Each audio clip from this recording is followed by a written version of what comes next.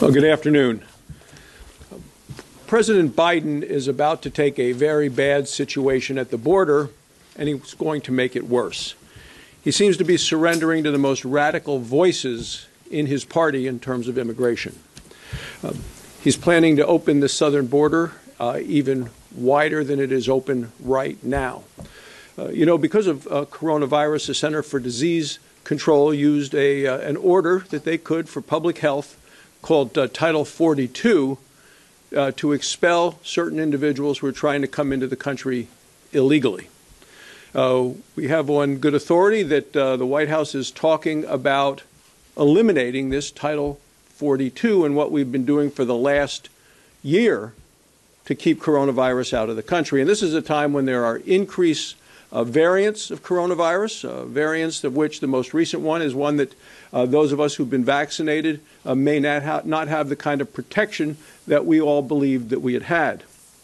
So today we're sending a letter to the president pointing out that every president has a responsibility to protect the safety and the security of the American people. 26 Republicans have signed on to the leader in, to, to, the letter, including uh, Leader McConnell. Uh, we're addressing in the letter the uh, concerns we have and the American people have about public health and safety, uh, about the crisis at the border from the standpoint of national security, as well as from the standpoint of the humanitarian crisis. I'm just going to read one paragraph from uh, this letter signed by 26 of us to the President of the United States. Ending this order will have a dire impact on the crisis already engulfing our southwestern border. We urge you in the strongest possible terms not to take this action.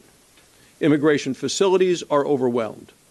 Revoking the authority of officials to rapidly expel illegal migrants under Title 42 without a clear plan in place to handle the stress this population will place on the system and on border communities will further exacerbate the crisis at the southwestern border. Senator Capito.